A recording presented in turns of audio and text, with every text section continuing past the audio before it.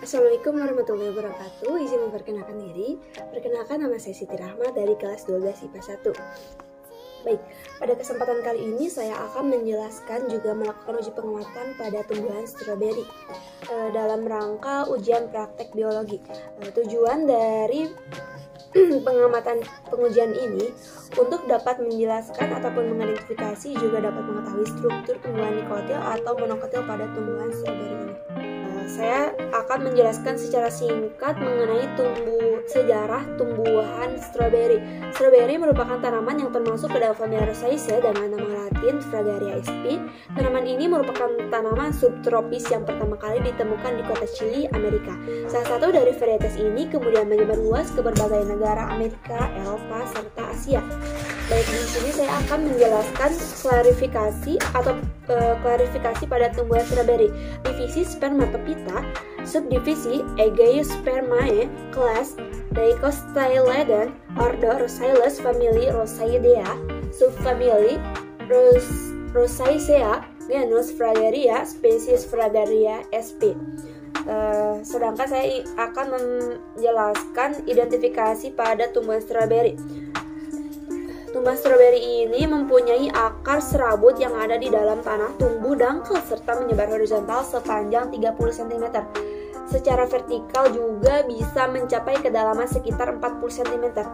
Akar muncul dari sebuah batang yang pendek serta tebal rumpun bentuk rumpun dari rumpun itu akan muncul tunas baru menjadi krom baru, sulur serta bunga.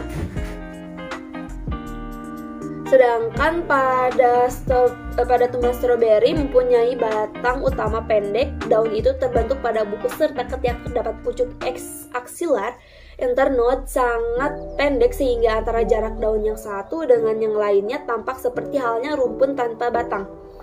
Batang utama dari daun ini juga tersusun rapat, mempunyai ukuran yang sangat bervariasi. E, sedangkan daun pada tumbuhan stroberi mempunyai tum, e, daun tumbuh yang melingkar rumpun berbulu berbulu lebat.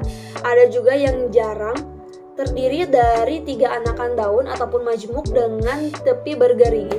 Daun biasanya akan disanggah oleh sebuah tangkai yang panjang.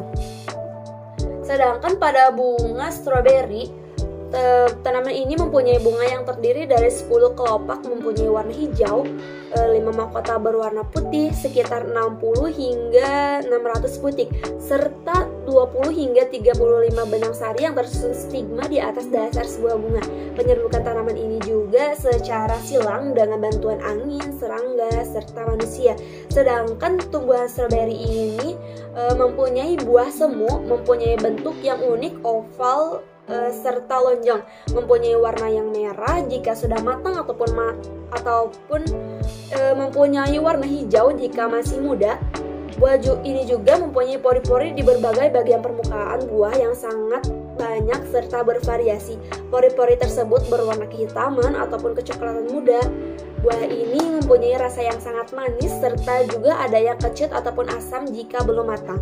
Sedangkan pada biji buah stroberi ini berukuran sangat kecil pada setiap buah ini menghasilkan banyak biji. Biji ini terletak di antara daging, kulit, dalam serta juga bagian dalam lainnya. Biji ini mempunyai bentuk yang bulat lonjong, oval serta berwarna kecoklatan yang kehitaman. Namun di sini saya e, tidak begitu menunjukkan e, bagaimana bentuk buahnya ataupun bagaimana bentuk bunga yang terdapat pada e, tumbuhan e, tumbuhan stroberi ini karena berbagai alasan. Simpulannya, stroberi merupakan tumbuhan dikotil karena stroberi memiliki struktur tubuh akar tunggang, jumlah mahkota bunganya 5 dan bentuk daunnya mirip mirip E, hal itu juga sama seperti ciri-ciri tumbuhan dikotil. Hal itu juga menjadi alasan kuat mengapa tumbuhan stroberi termasuk tumbuhan dikotil. Tak uniknya, stroberi memiliki lebih dari 200 biji pada satu buahnya. Baik, terima kasih. Cukup sekian penjelasan mengenai tumbuhan pada stroberi. E, kurang lebihnya mohon